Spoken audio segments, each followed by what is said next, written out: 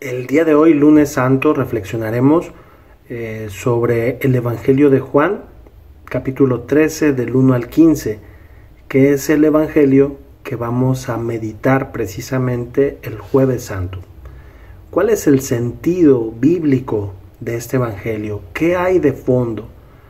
Primero, yo quisiera que nos detuviéramos en la primera parte, cuando dice, antes de la fiesta de la Pascua, sabiendo Jesús que había llegado la hora de pasar de este mundo al Padre, y habiendo amado a los suyos que estaban en el mundo, los amó hasta el extremo.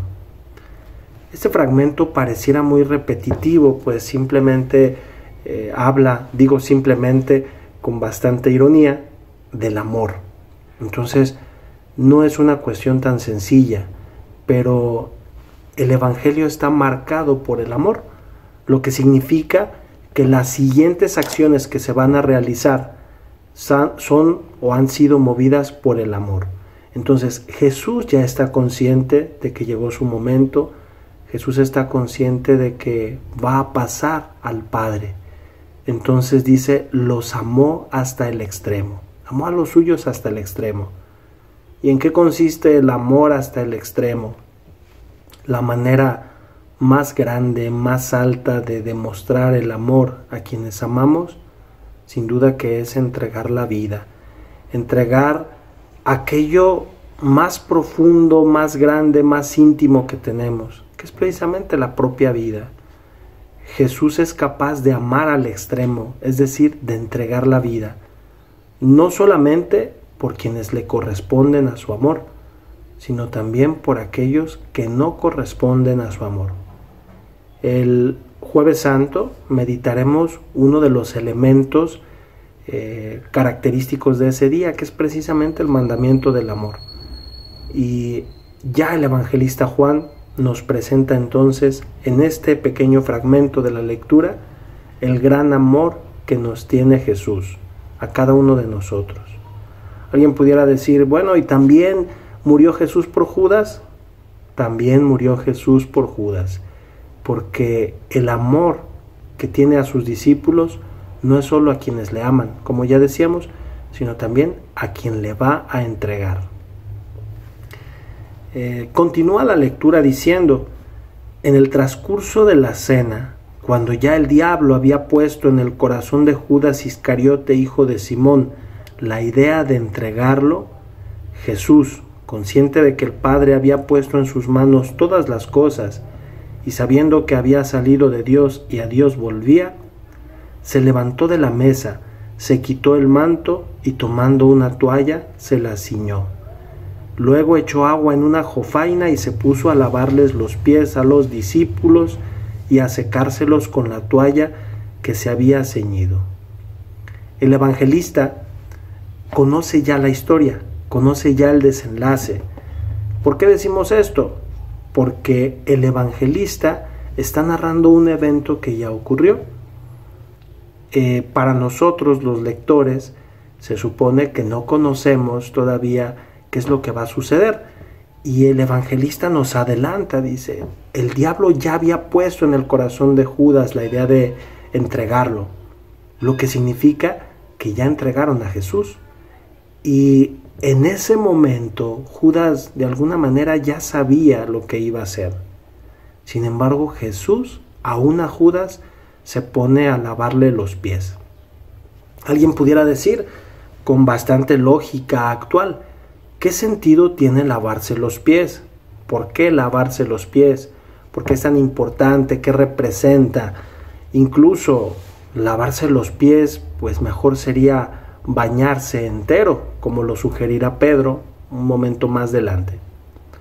Hay que decir primero que toda la región de Israel, particularmente la parte sur, eh, Palestina, es un desierto. Judea es un desierto. La parte norte no es tan desértica, a pesar de ser muy calurosa. La parte norte, que es Galilea, que es Samaria, las fronteras incluso con Líbano y con Siria, pues digamos tienen una gran ventaja y es precisamente el mar de Galilea, un lago maravilloso, grande, que nutre, que abastece toda esta región norte. Sin embargo, en el sur está la desventaja de que de la parte norte baja el río Jordán y llega precisamente hasta el sur, desembocando en el mar de la sal, o también llamado mar muerto. Sin embargo, no es eh, tan abundante el agua que viene y por lo mismo el mar muerto no recibe tanta agua. Un paréntesis cultural es que en la actualidad desafortunadamente se está desecando este mar muerto. Ahora sí que paradójicamente el mar muerto está muriendo. Pues bien, esta región sur se caracteriza entonces por tener eh, esta zona cálida, difícil, desértica. Sin embargo, las personas suelen dedicarse o solían incluso dedicarse a las actividades como la transhumancia, es decir, eh, tener ovejas, tener chivos, tener animales y entonces llevarlos a pastar, a pastorear, ir caminando con ellos, eh, buscar los valles mejores donde hubiera un poco de alimento para que comieran allí los animales y entonces después poderlos eh, cambiar a otro lugar, mover a otro lugar para que pues pudieran satisfacer sus necesidades de hambre, de sed.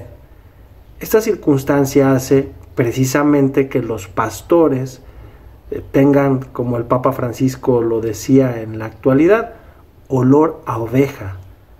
Y es algo característico de un buen pastor, pues porque está con sus ovejas todo el tiempo, entonces al llegar a cualquier lugar se sabe que es un pastor, porque tiene olor a oveja, porque está con ellas, porque los cuida, porque vamos, en esta situación de desierto, en donde no hay agua, el baño diario sería un privilegio. Pero hay algo más. En la actualidad nosotros cómodamente solemos usar zapato, un zapato cerrado normalmente, con el cual prevenimos pues tierra, polvo, suciedad incluso que llegue a nuestros pies. El que usa guaraches en la actualidad o sandalias lo hace quizá por comodidad, pero quizá lo más común, lo más ordinario es que las personas usen un zapato cerrado. En la antigüedad no, y menos en el sur.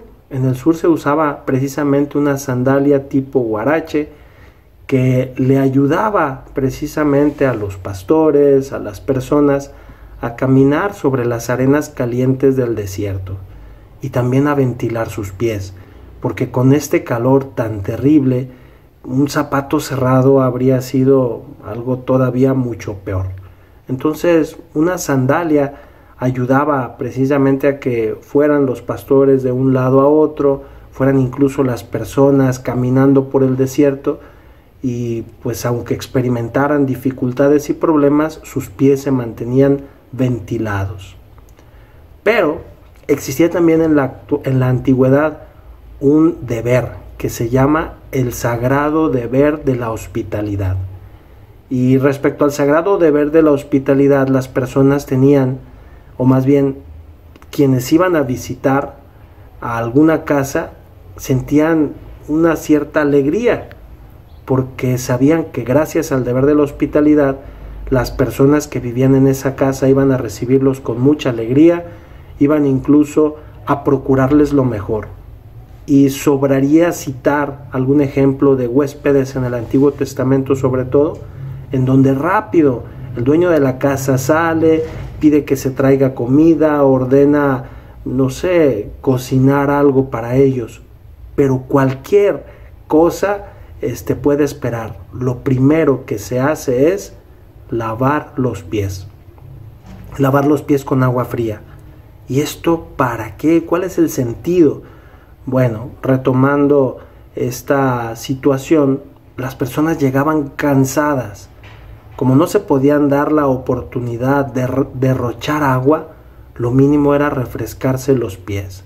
Entonces, acercarles un poco de agua a los pies para que experimentaran la frescura, el deleite de tener precisamente un momento de descanso al entrar en la casa de aquel que los estaba recibiendo. Entonces, lavar los pies estaba relacionado con la hospitalidad, con la amistad, quien recibía a alguien y le lavaba los pies en el momento se convertía en amigo, porque era una manera de decirle, esta es tu casa. Pero, y aquí viene algo interesante, quien lavaba los pies no era el dueño de la casa, sino uno de los esclavos. Entonces el dueño de la casa con mucha facilidad le decía, anda, lávales los pies. Y se ponían a lavarles los pies a los visitantes para darles frescura, normalmente se les podía poner algún bálsamo oloroso o simplemente secarles los pies y dejarlos para que descansaran. Era una manera bastante cortés, bastante interesante de recibir a los huéspedes. ¿Qué más había? ¿Qué más se hacía ante un huésped, ante alguna persona que, que llegaba a la casa? Bueno, pues junto con esto se les hacía prácticamente una fiesta. Y entonces aquí podemos darnos cuenta que Jesús, al lavarles los pies, está manifestando dos cosas. La primera, haciendo eco del principio, es que Jesús ama hasta el extremo. La segunda, que aún amando a Judas, a pesar de haber Judas recibido en su corazón el deseo de traicionar a Jesús, Jesús también le ama y también le lavará los pies y Jesús se pone en la posición de un siervo, de un esclavo. Es muy común que pudiéramos confundir dos palabras, siervo con S y siervo con C. La palabra siervo con C pues es un animalito, un venado. La palabra siervo con S viene del latín servus, que a su vez procede del verbo servire. ¿Y qué significa eso? servir. Entonces el siervo es el esclavo, el que sirve. Y Jesús se presenta como un esclavo. Tan solo pensemos una situación en la que estuviéramos nosotros eh, haciendo el papel de los apóstoles, o incluso alguna situación de dignidad, en la cual el de mayor dignidad se pone a lavarnos los pies. ¿Qué implicaba lavar los pies en ese momento? Lo mismo que implica ahora humillarse.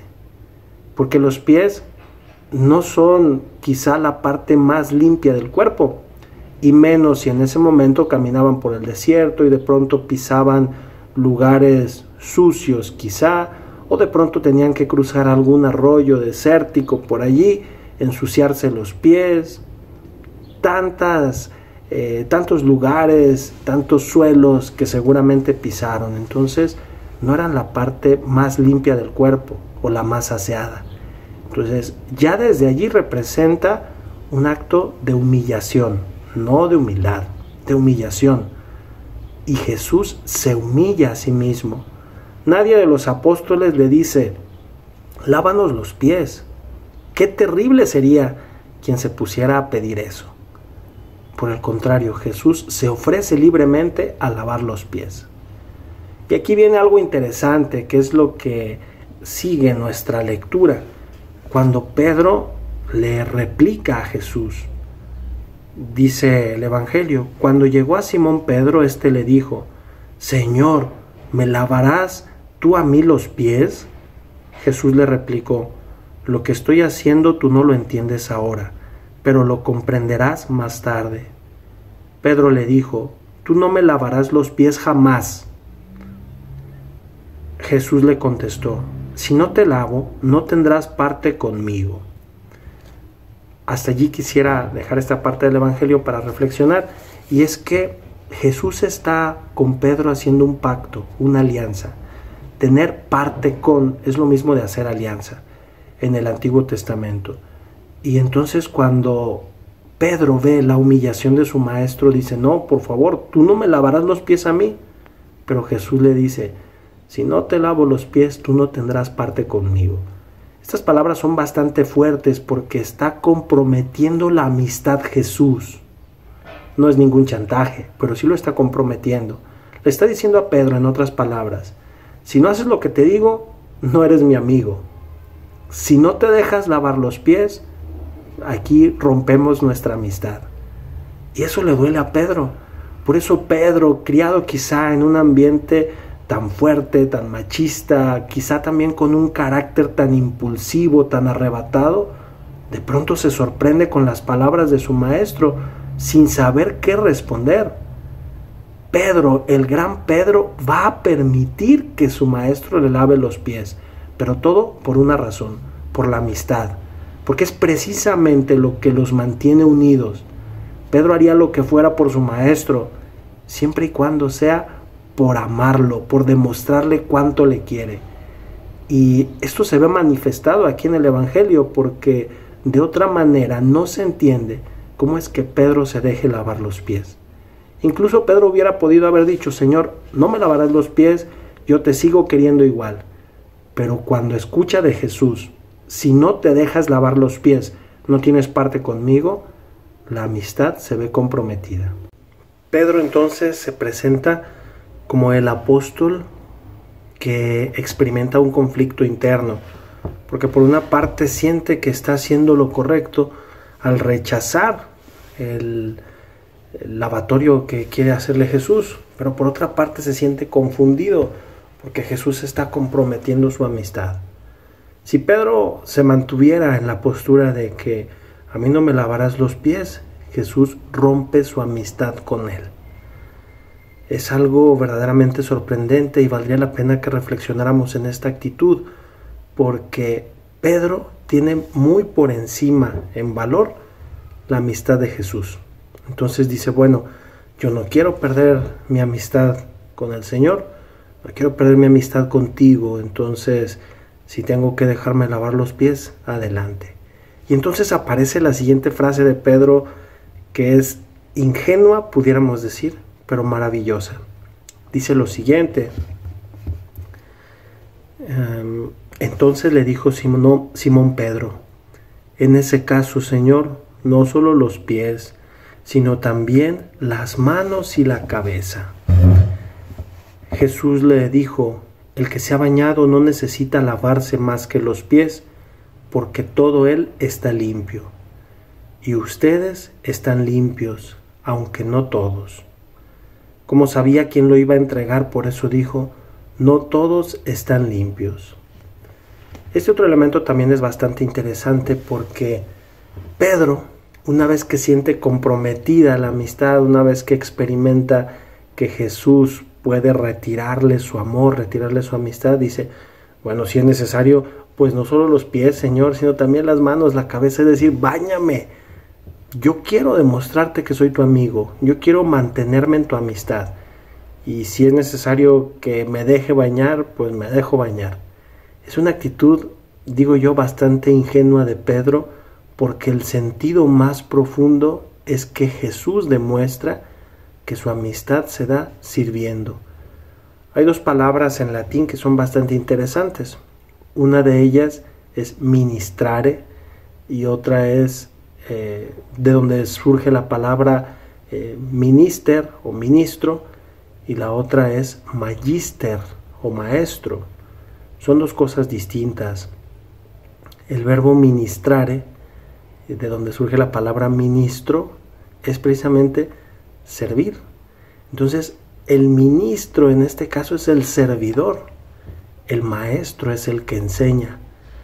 Y la paradoja que se encuentra en el Evangelio es que el maestro, el que debería enseñar, el que debería estar por encima de sus discípulos, es el que toma la función del ministro.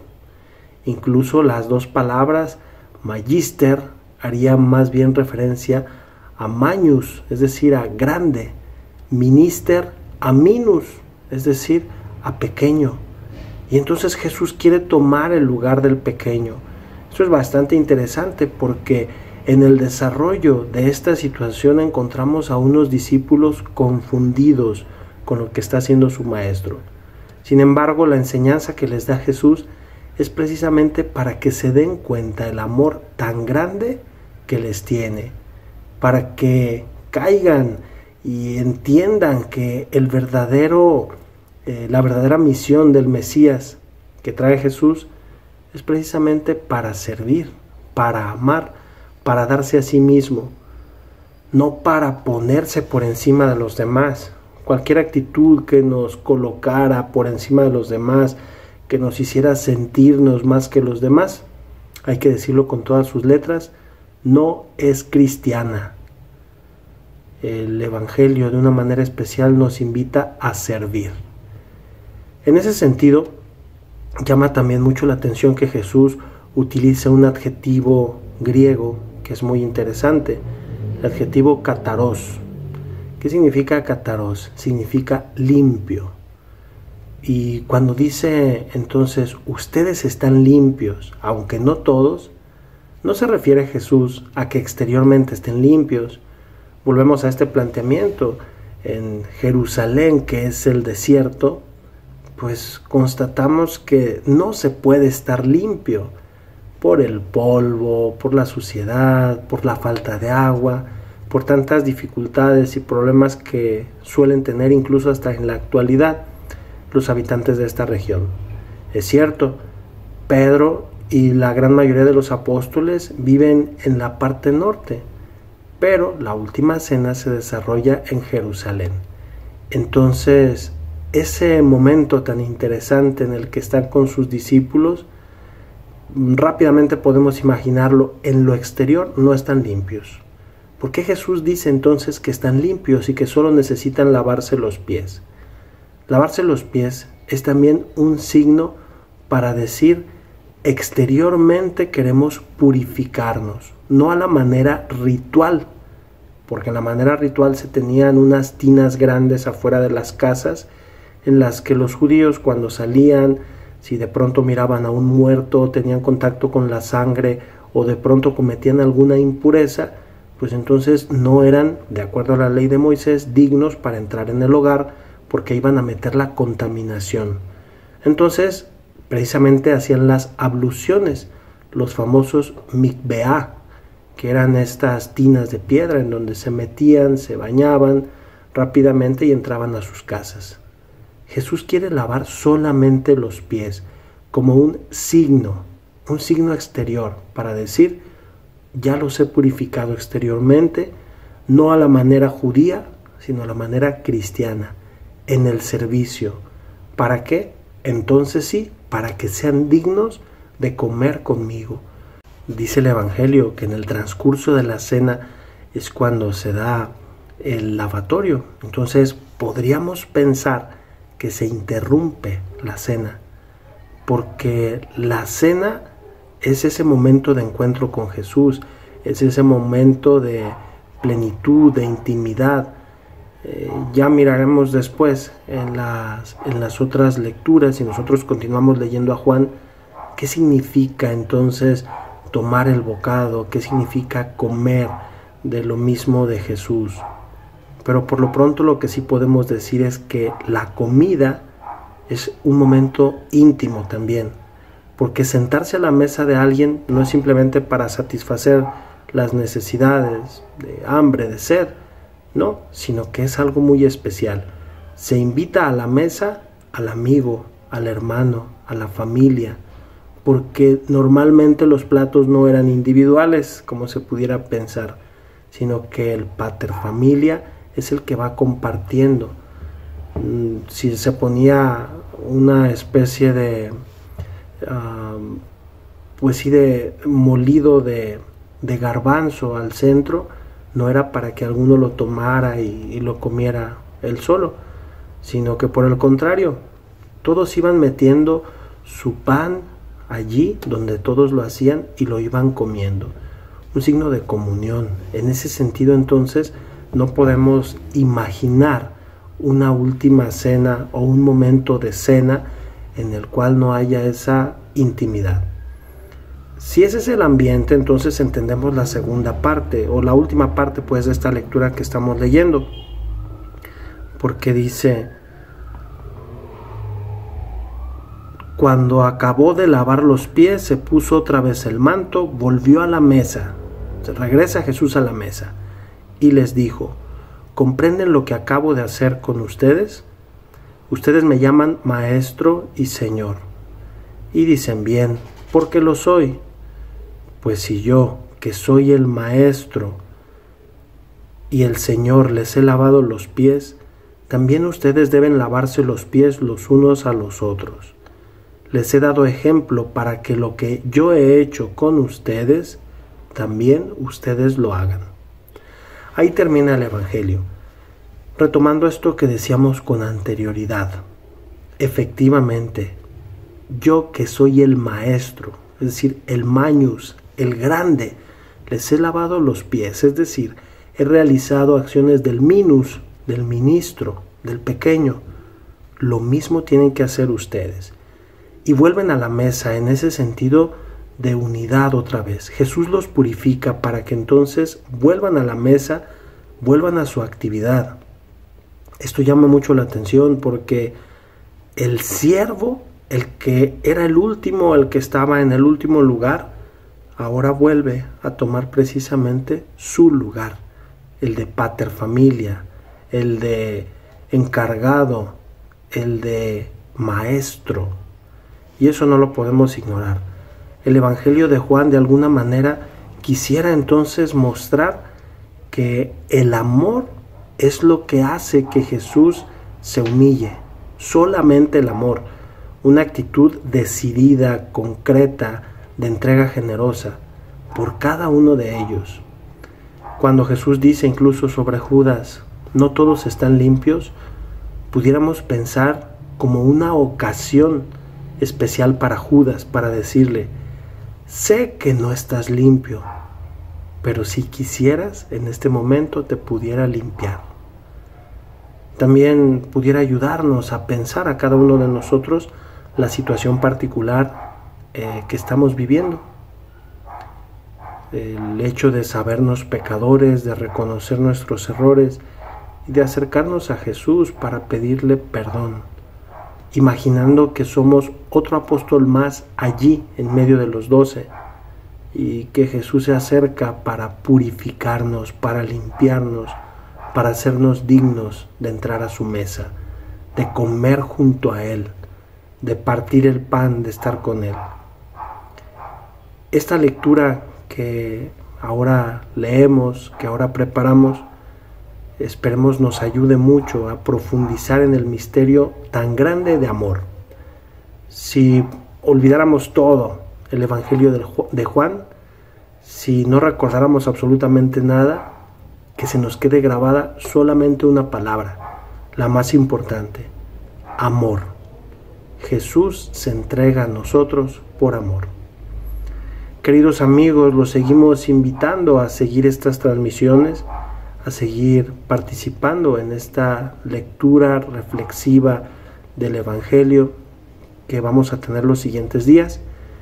El día de hoy fue del jueves santo, primeramente Dios, tendremos después la del viernes santo y por último la del sábado, eh, la, la vigilia pascual. Dios les bendiga. Que tengan una excelente tarde.